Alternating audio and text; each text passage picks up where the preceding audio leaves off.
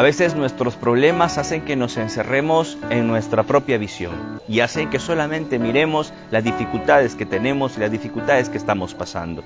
Nos encerramos mucho y contemplamos siempre nuestra dificultad y nos olvidamos que tenemos un panorama mucho más amplio que Dios nos ofrece. Yo te invito a que mires mucho más allá de tu problema, mucho más allá de tu dificultad o de tu sufrimiento y te vas a dar cuenta que Dios ha creado todo lo que tenemos a nuestro alrededor para disfrutarlo y para tener vida en abundancia. Hermano, no desperdicies tu vida ni tu tiempo mirando solamente tu dificultad, mirando solamente aquello que te hace sufrir, aquello que te deprime. Tenemos muchas otras cosas más que contemplar y que mirar, donde vamos a darnos cuenta que Dios nos ama muchísimo, a través de la naturaleza, a través del aire, a través de la vida, a través de aquellos que nos rodean. Tenemos que contemplar mucho más allá de aquello que solamente nos hace sufrir. Hay muchas cosas más que Dios nos regala para hacernos feliz, para disfrutarlo y para vivir plenamente la vida en abundancia que Él ha venido a darnos. Ánimo, querido hermano, mira tu horizonte, mira la naturaleza, mira lo que Dios tiene para ti. Dios ha creado todo esto para que tú lo disfrutes. No lo desperdicies, no desperdices tu vida, más bien aprovecha el tiempo que te queda aquí en la tierra para disfrutar lo que Dios ha puesto para ti.